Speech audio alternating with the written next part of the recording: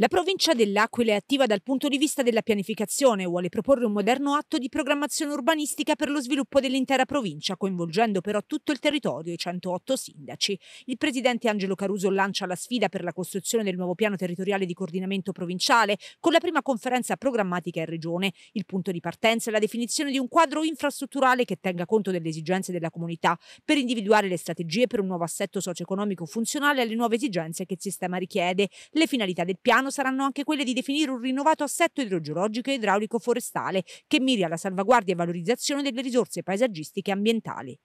Noi eh, ripartiamo da una fase di concertazione partecipativa insieme ai principali protagonisti della programmazione territoriale che sono i comuni. Andremo sui territori, andremo con eh, la disponibilità a raccogliere eh, le, le volontà e anche a suggerire eh, iniziative, tenuto conto che questo strumento oramai ha una data abbastanza lontana e eh, soprattutto non tiene conto di tutte le evoluzioni che ci sono state, soprattutto negli ultimi tempi nel campo della sostenibilità, della valenza ambientale, tutti temi che oggi sono obbligatoriamente necessari da ricomprendere all'interno del nuovo piano. Presenti alcuni sindaci del territorio, altri erano collegati esponenti dell'Istituto di Urbanistica l'architetto Pierluigi Properzi che ha curato il documento preliminare con l'obiettivo, ha spiegato lui stesso, di dare una metodologia.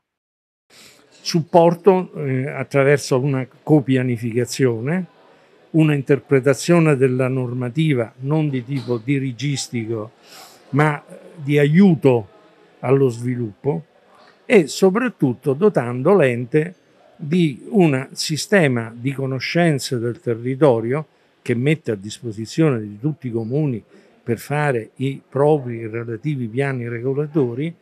un sistema di conoscenze stabilizzato, stabilizzato nel senso di utilizzare al meglio le tecnologie innovative che ci sono, in particolare quelle relative all'uso degli open data e della mh, grafica eh, di tipo digitale per la costruzione di un patrimonio di conoscenze, come dicevo, stabile, da utilizzare sia per la pianificazione a tutti i livelli, sia per le procedure di valutazione